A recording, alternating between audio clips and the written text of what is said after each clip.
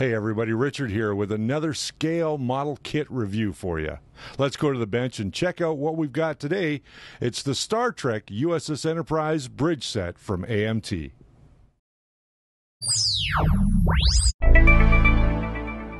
So we're here at the bench and looking at the Star Trek USS Enterprise bridge set from AMT. This is a reproduction of the original kit, which came out in the 70s for the USS Enterprise. This is a much bigger box than we're used to seeing. Um, the artwork on it is pretty standard. This is artwork that I think we've seen before. Uh, however, the sides, uh, now we get some beautiful artwork uh, from the actual stills from the movie. Nothing too special over there. A little bit of information about the bridge and um, some of the other, a little diagram and, and things like that. And on the back side, this is what I thought was really cool. Let me just flip it around there. Is that they have, this is now the first time we've seen the kit come with all the parts to build a completely round um, bridge set. Now, bear in mind that this is not completely accurate to uh, what we saw on the show. It is a representation, however, so if you're looking for accuracy, you're going to have to do some kit modifications if you want to make things look a little better. Um, I know that some of the parts in the kit are new. It, this kit now comes with a lot more figures than the original kit did. The original kit only came with three figures. Um, this figure, however, or this kit, however, comes with a total of 10. So you can have all the principal characters on the bridge at one time now. All right, let's get into looking at what's in the box. Now, we've opened this box already, so we know we kind of have an idea of what's in here. We're just going to set the top aside. Inside, we find a standard set of instructions. Um, it shows you basically all the different heads that you get. Uh, so you get a quite a collection of heads. You get some new bodies, you get some new stands. Um, simply laid out. This is very similar to the original layout of uh, the plans that, that came for this kit back in the day, and not too much has changed in that respect. However, they do have new walls, as as I'm going to explain in, in just a few minutes. Now, if we look down at the bottom, it has all the color callouts. Uh, you can build this so that you can have it look like the original bridge kit. But what would be the point? Let's build this so that it has the look of the set, that same camera angle that we always saw looking towards the bridge uh, and looking towards the turbo lift. So that's probably what we're going to do with this kit. Um, there's all the instructions for where all the decals go. And that is pretty much it in a nutshell. There's some more on the back of to where all the decals go. And this has an updated decal set from my understanding. Um, everything is poly bagged as we're used to seeing. So let's uh, start taking that out. We've got one, two, three, and four bags of sprue.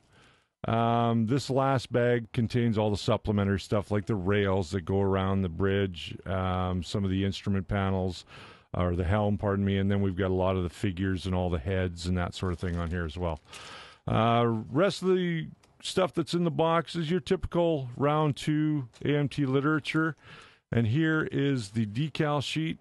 Um, the decals, of course, are in a nice poly bag as well. So let's uh, let's get rid of the box, and we'll start with the decal sheet. Now, one of the things I like to do, and this is just me personally, is I like to uh, always make a scan of my decals. Um, I'll put them on my flatbed scanner and I will uh, see what they look like.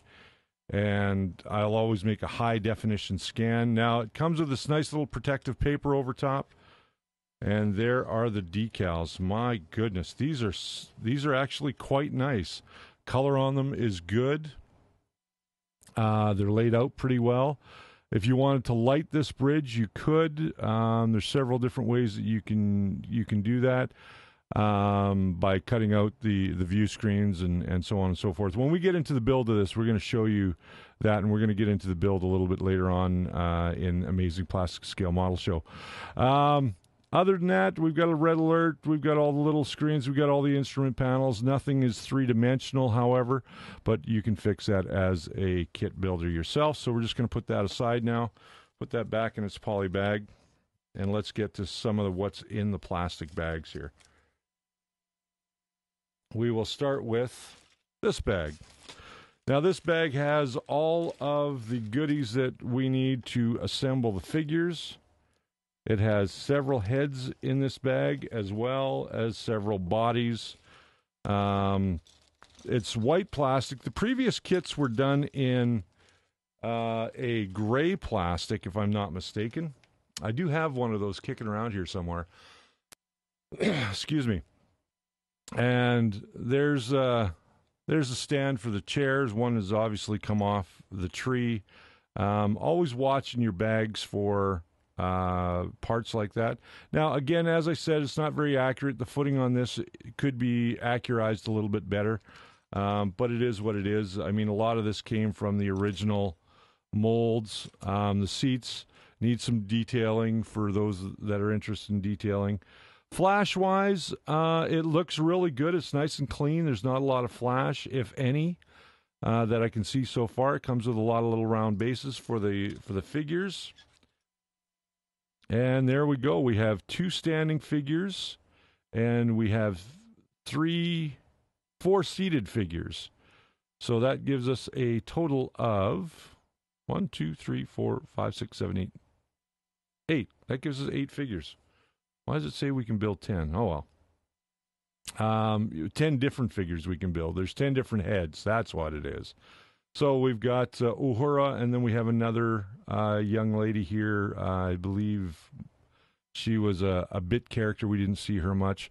One of the few things that this thing comes with, it comes with some new scanners. Like it has Spock scanner right here. Uh, let me see if I can get that a little bit closer to the to the monitor. We have Spock scanner that went on his station right here, and we also have Sulu's targeting scanner, which is right here. Uh, that's an addition to this kit, along with all the figures. Let's look at the wall sections. This bag here holds wall sections that are pretty standard to the old kit, as well as um, the outer ring where everything happens. Again, just two little two little sprues. Um, one has some floor sections in it, which is pretty standard and the other has the wall sections with the dual screens. Again, this is now molded in white, not molded in uh, the gray. This obviously came off of the old tooling mold because we can see that there's a little bit of rust that is forming on some of the some of the tree. Um, however, the parts themselves, other than a little bit of rust right here, not too bad. Uh, it's a nice, decent weight plastic. Um, they're all numbered. So again, this probably came from the original tooling mold. Let's see what else do we have here. We've got uh, Captain Kirk's chair in this bag, as well as a few other goodies. And I always say don't cut towards yourself, but I always tend to do it, and I don't know why. Uh, again, we've got the turbo lift doors, which are inaccurate. We all know that. Um, you can fix those up if you so choose. I think I'll probably be fixing those up by adding some some plastic to them just to give them more of a of an authentic look. Uh, again, that's a standard piece, and this is also a standard piece with the captain's chair on it. Which there are aftermarket kits where you can get a little bit more accurate chair.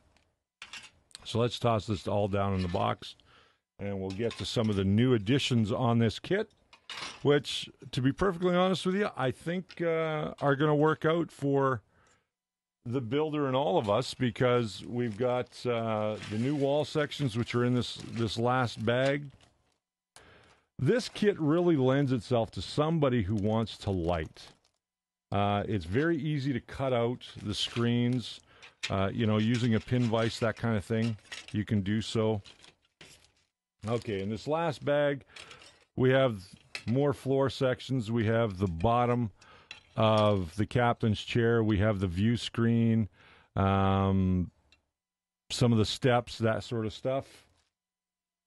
Uh, again, the center section for the helm and for the captain's chair.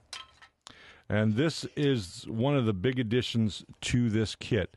Now, how well you can see that, I'm not sure, but on this particular uh, tree, we have two sections of wall that have a single screen. Now, Don's Light Magic came out with a kit that had, or pieces that you could purchase, aftermarket pieces that had a single screen in them. How well this is going to lend to what he has done, uh, I don't know. I haven't seen his parts, so I can't directly compare them. But having these two new sections, you can build the bridge in a complete round and really uh, go to town. Now, looking at these in comparison to the other ones, it just looks like this section here was changed. That looks like the only piece that was changed. Everything else looks pretty standard.